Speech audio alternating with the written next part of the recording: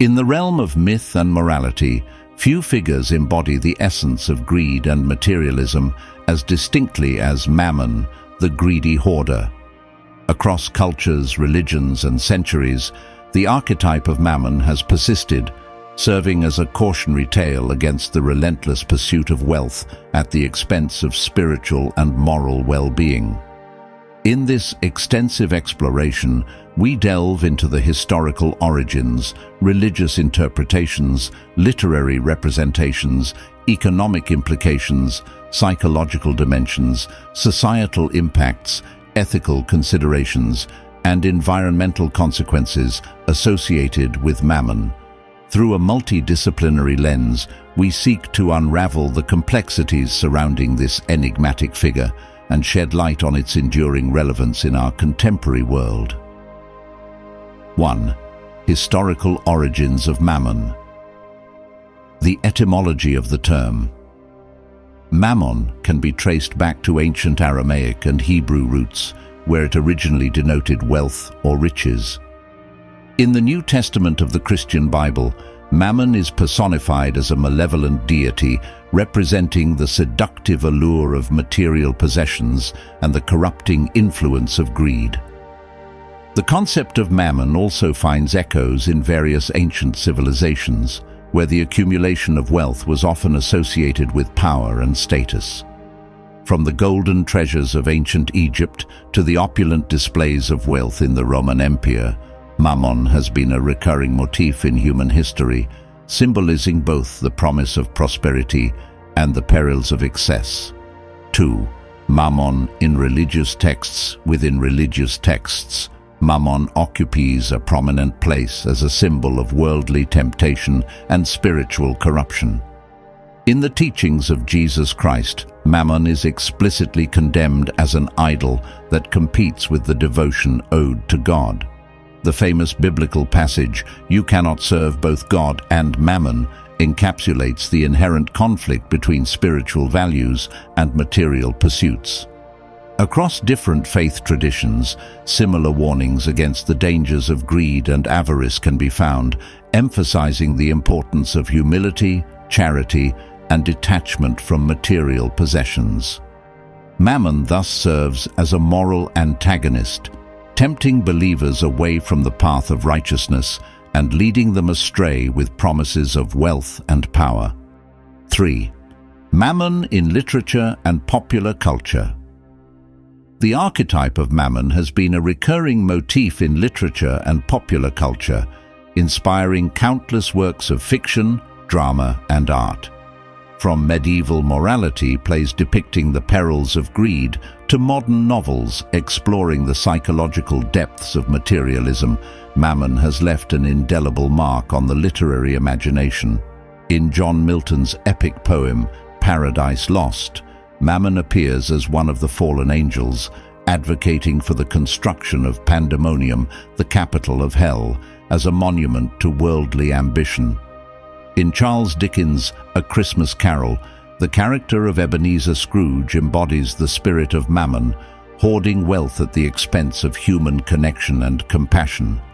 Through these and other literary representations, Mammon continues to serve as a cautionary figure, reminding readers of the dangers of unchecked greed and selfishness. 4. Mammon and Economic Systems In the realm of economics, Mammon manifests in the form of capitalism, a system characterized by the pursuit of profit and the accumulation of wealth. While capitalism has undoubtedly led to unprecedented levels of economic growth and prosperity, it has also been criticized for exacerbating inequality, fostering consumerism, and prioritizing short-term gains over long-term sustainability.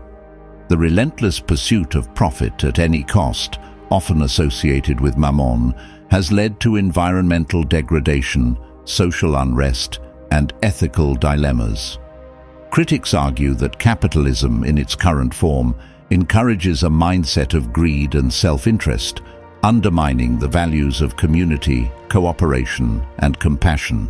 Alternative economic models such as socialism and sustainable development seek to temper the excesses of mammon with principles of equity, justice and environmental stewardship. 5.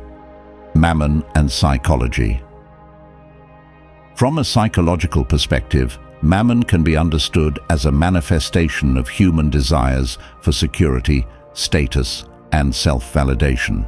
The pursuit of wealth and material possessions is often driven by deeper emotional needs, such as the desire for acceptance, recognition, and belonging. Psychologists have identified various cognitive biases and psychological mechanisms that contribute to our propensity for greed and materialism, including the hedonic treadmill, social comparison theory, and status-seeking behavior. Mammon thrives on our insecurities and vulnerabilities, promising fulfillment and happiness through the acquisition of wealth and possessions. However, research suggests that materialism often leads to diminished well-being, as it fosters a sense of emptiness and dissatisfaction that cannot be alleviated through material means alone. By understanding the psychological roots of mammon, individuals can cultivate greater self-awareness and cultivate more meaningful sources of happiness and fulfillment. 6. Mammon in modern society. In the modern world, mammon is omnipresent, permeating every aspect of our lives from the economy to politics, from culture to technology. The rise of consumer culture and the proliferation of advertising have fueled a relentless pursuit of material possessions, perpetuating the myth that happiness can be bought and sold. Social media platforms amplify the culture of comparison and competition, fostering a constant desire for validation and status symbols. Meanwhile, corporate interests wield immense power and influence, shaping public policy and cultural norms to serve their own agendas. Mammon's grip on society is further reinforced by systemic inequalities, institutionalized greed, and the erosion of ethical norms. In this increasingly interconnected and materialistic world, the challenge of resisting Mammon's temptations has never been greater. 7. Mammon and Ethics Ethically, Mammon poses a profound dilemma, forcing individuals to confront the tension between self-interest and the common good.